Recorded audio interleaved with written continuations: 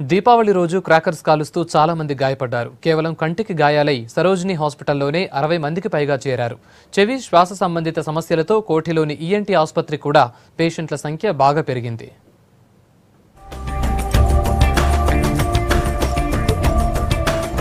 రాష్ట్ర వ్యాప్తంగా దీపావళి రోజు క్రాకర్స్ కాలుస్తూ గాయపడ్డవారు వంద మందికి పైగా ఉన్నారు. ఓవైపు కంటికి గాయాలైన బాధితులు రెండు రోజులుగా సరోజిని హాస్పిటల్కు వస్తూ ఉంటే పండగ వేళ క్రాకర్స్ సౌండ్ కాలుష్యంతో కోఠిలోని ఈఎన్టీ ఆసుపత్రికి కూడా పేషెంట్లు క్యూ కట్టారు.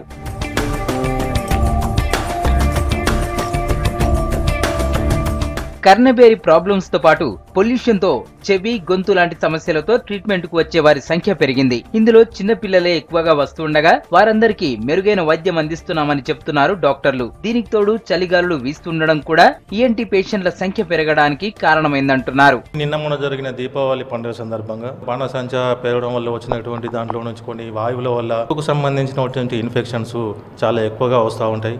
అదేవిధంగా పాపులేషన్లో పది నుంచి ముప్పై శాతం వరకు కూడా ఎలర్జీ బారిన పడతా ఉన్నారు. ఈ విపరీతంగా తుమ్ములు రావడం ముక్కులో నుంచి నీళ్ళు విపరీతంగా కారడం ముక్కు కళ్ళు అంత దురు దురదగా ఉండడం ఇదంతా కొన్ని పొల్యూషన్స్ వల్ల కొన్ని చల్లటి వాతావరణం వల్ల ఈ ఎలర్జీ రావడం జరుగుతూ ఉంటుంది. కంటికి గాయాలవడంతో హైదరాబాద్ రంగారెడ్డితో పాటు చుట్టుపక్కల జిల్లాల నుంచి సరోజిని హాస్పిటల్కు బాధితులు వస్తున్నారు. ఇప్పటికే హాస్పిటల్లో అడ్మిట్ అయిన తొమ్మిది మంది పేషెంట్లకు కంటి ఆపరేషన్లు కూడా చేశారు డాక్టర్లు. నలుగురికి మాత్రం ఆపరేషన్ చేసినా వెంటనే చూపు వచ్చే అవకాశం అవకాశం లేదంటున్నారు. అవసరమైతే ట్రాన్స్ప్లాంట్ చేసేందుకు కూడా పరిశీలిస్తున్నామని చెప్తున్నారు. దీపావళి పండుగ నుంచి ఇప్పటి వరకు సుమారు అరవై ఐదు మంది వరకు ఇక్కడ రిపోర్ట్ చేయడం జరిగింది. అందులో ఆ సిక్స్టీ ఫైవ్ కేసెస్లో మనము పదిహేను మందికి అడ్మిట్ చేయడం జరిగింది. ఎవరికైతే సీవియర్ ఇంజరీ ఉందో మిగతా వారికి అందరికీ అవుట్ పేషెంట్ బేస్లో ట్రీట్మెంట్ చేసి వారి ఇంటికి పంపించడం జరిగింది. ఈ పదిహేను మందిలో సుమారు ప- పది మందికి కంటి ఆపరేషన్లు చేయడం జరిగింది ఆల్రెడీ. వాళ్ళు రికవరీ అవుతున్నారు. మిగతా వారు ఏవైతే బ్యాడ్ ఉన్నాయో